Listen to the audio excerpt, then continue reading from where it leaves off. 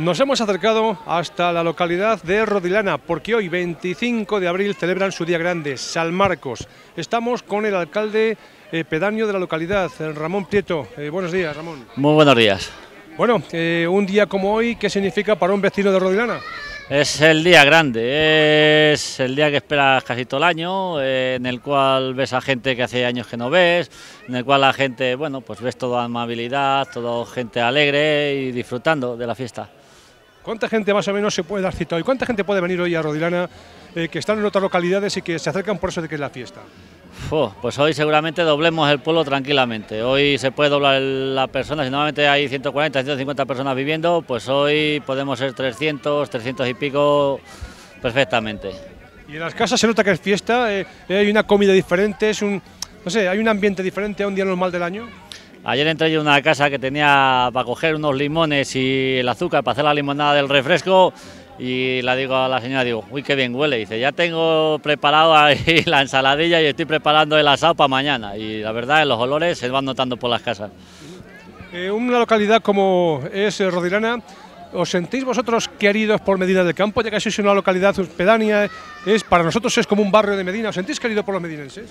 Nosotros sí, nosotros nos sentimos los primeros rodilanenses o rodilanejos, pero luego la parte, bueno, pues medinenses, de la parte que nos toca. Es decir, y queridos nos sentimos porque si habéis visto y habéis grabado, estaba la corporación, estaba la alcaldesa, estaba Raquel, viene Alfonso, es decir, han venido los de Izquierda a acompañarnos, es decir, nosotros nos sentimos queridos eh, y, esperamos seguir, que, nos sentamos queridos muchos años, claro.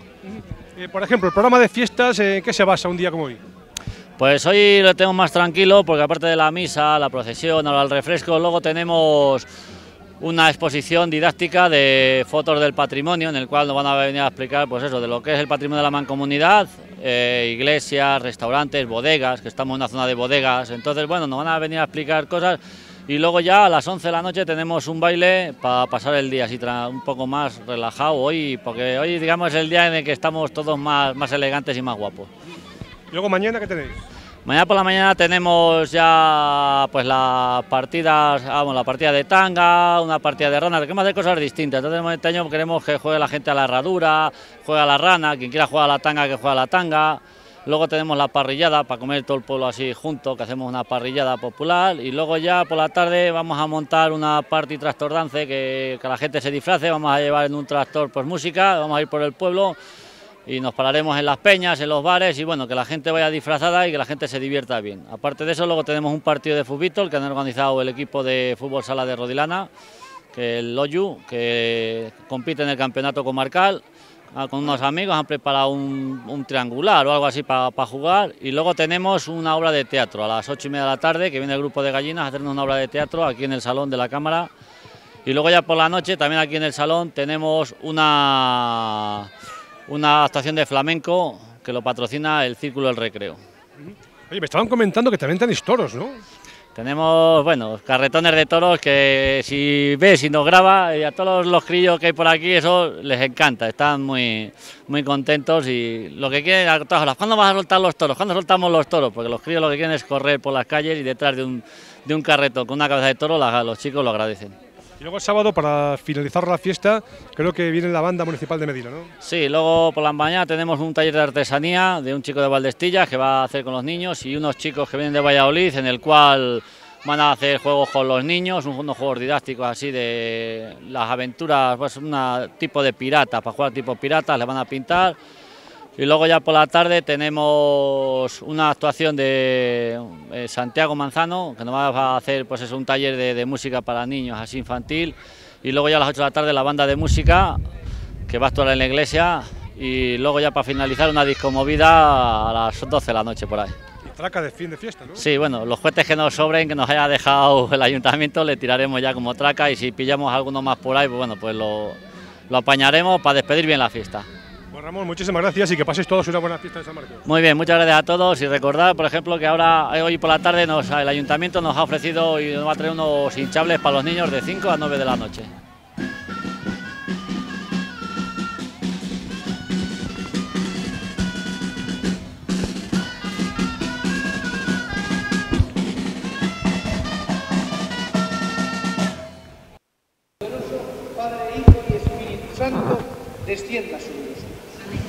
Podéis ir en paz. Aleluya, aleluya. La vida de la paz y el perdón y llevando mi presencia con vosotros estoy y llevando mi presencia con vosotros estoy.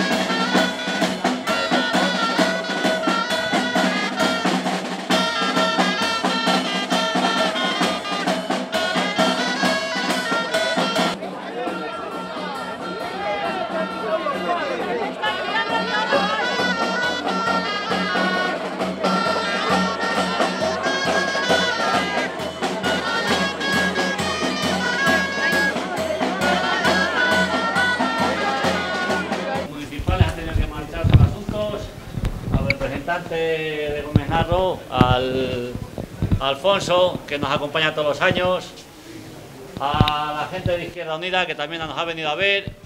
Solamente desearos una cosa, que paséis buenas fiestas, gracias a todo el mundo, que todo el mundo se está portando muy bien con nosotros, darles las gracias a todo el mundo y que viva San Marcos y a disfrutar, señores. La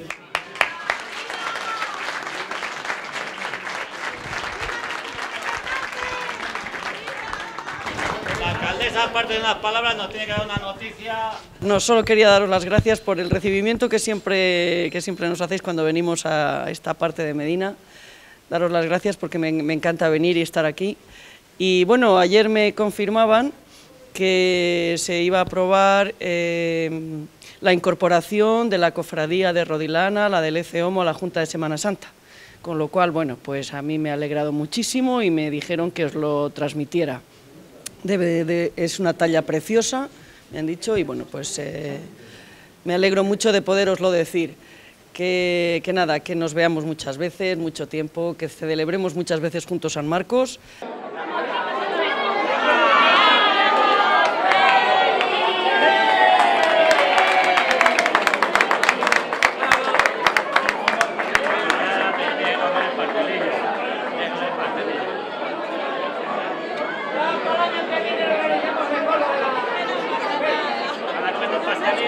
Francisco de la Rosa es el portavoz del grupo de Izquierda Unida en el Ayuntamiento de Medina del Campo. Eh, Francisco, buenos días. ¿Qué tal? Muy buenos días. Aquí estamos, acompañando a los vecinos de, de Rodilana, ¿verdad? Sí, en su día grande. La verdad es que es muy gratificante venir a, a las distintas pedanías y los barrios de Medina a acompañar a los vecinos en sus fiestas. Es algo bueno, que a mí personalmente me agrada mucho y sobre todo que siempre somos recibidos muy cálidamente y bueno, te sientes muy acompañado. Eh, Rodilana, es un pueblo, es un barrio de Medina. Para los vecinos del pueblo supongo yo que querrán ser un poco independientes, ¿no? Pero nosotros sentimos que Rodilana prácticamente es, lo mismo, ¿no? Que Medina del Campo. Eh, para, para nosotros siempre hemos considerado a Rodilana, igual que a Comendarro, un barrio más de Medina del Campo, es decir, porque utilizamos la palabra barrio porque es lo- la forma más afectiva o más cercana a lo que pueden ser cualquier otro núcleo de población de Medina.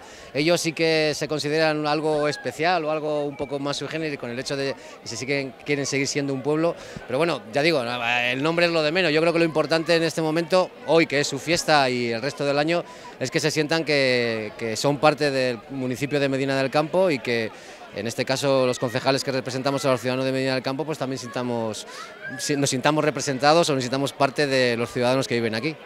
Esta mañana, el portavoz del grupo de gobierno, Germán Sáez, pues nos daba una noticia que nos sorprendía y es, son las conclusiones eh, sobre esa rotonda de la comarcal 112 que va desde Olmedo, Medina del Campo, Medina del Campo, Olmedo, kilómetro dos y medio. Y bueno, pues al parecer hay ciertas irregularidades. ¿Sabe usted algo de todo esto? Bueno, sí, por supuesto. Eh, el Pleno del Ayuntamiento hace ya casi un año eh, decidió crear una comisión de investigación sobre este tema. Hemos estado durante sí, casi un año eh, recogiendo la información de las personas que, que se las solicitó que se personaran o que las hicimos las preguntas por escrito para que contestaran.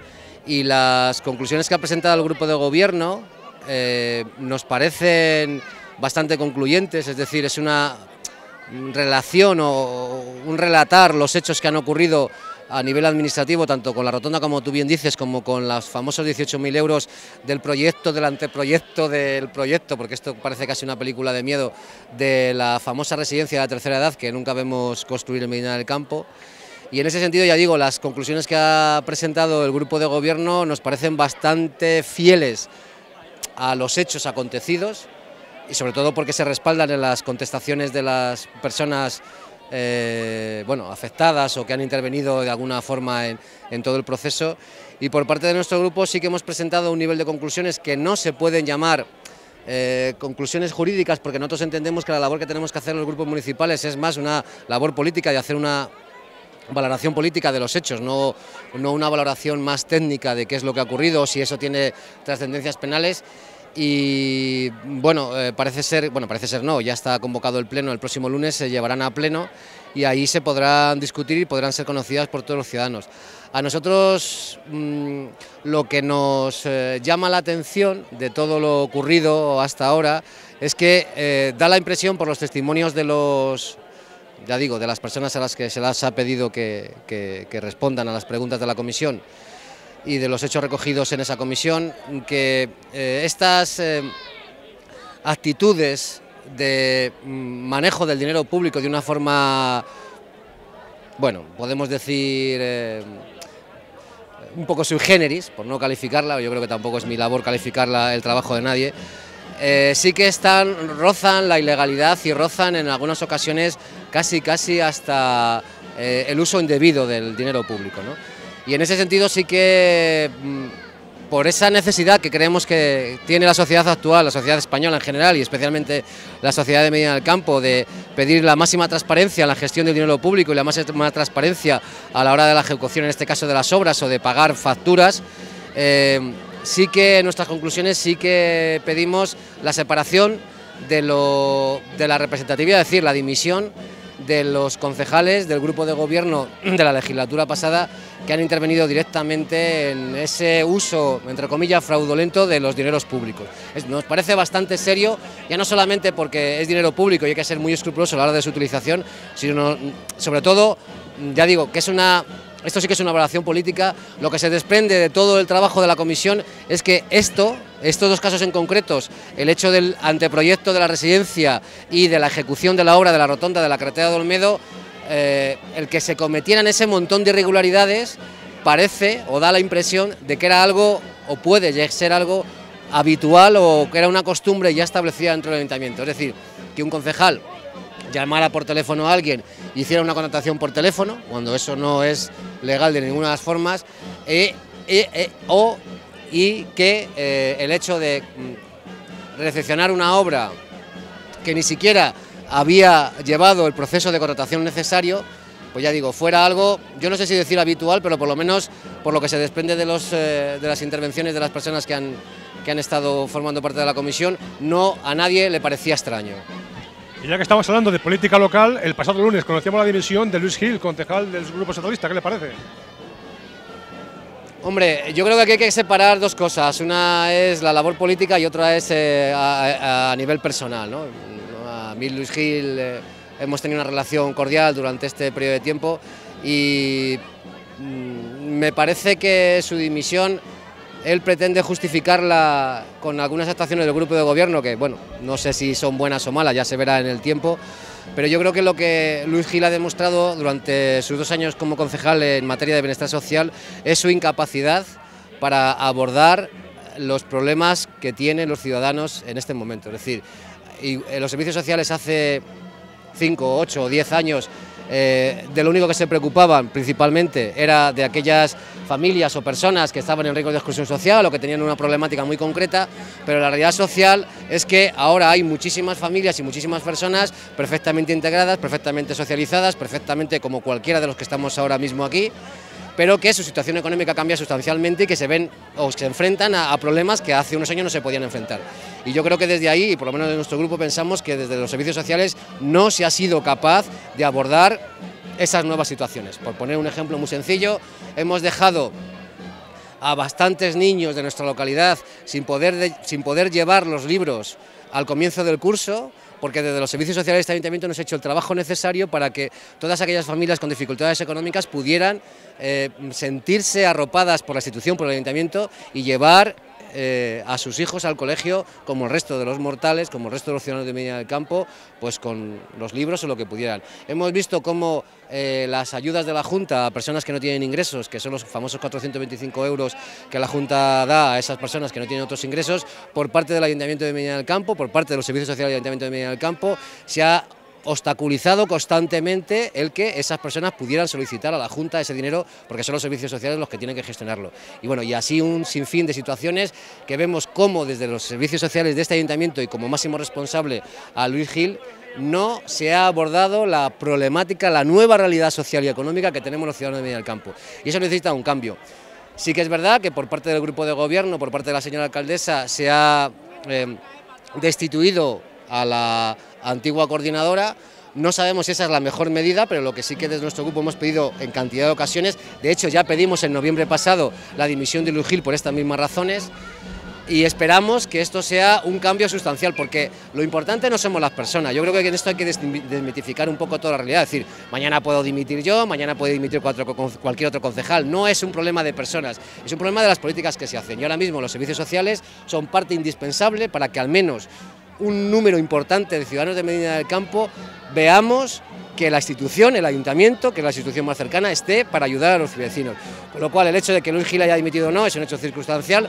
Lo importante, ya digo, es si a partir de ahora la nueva persona que asuma la responsabilidad de servicios sociales en el ayuntamiento y el nuevo cambio que se está dando a nivel de funcionarios sirva de verdad para que los ciudadanos veamos que cuando tenemos un problema que no hemos provocado nosotros, sino que viene dado por las circunstancias económicas que está viviendo el país, hoy el gobierno ha dado las cifras de paro, estamos por encima de los 6 millones de personas en paro, eso en Medina del Campo tiene su repercusión, estamos hablando en Medina del Campo de cerca de 3.300 personas en situación de desempleo, eso hay que abordarlo de alguna forma y hasta ahora por parte de los servicios sociales no se ha abordado.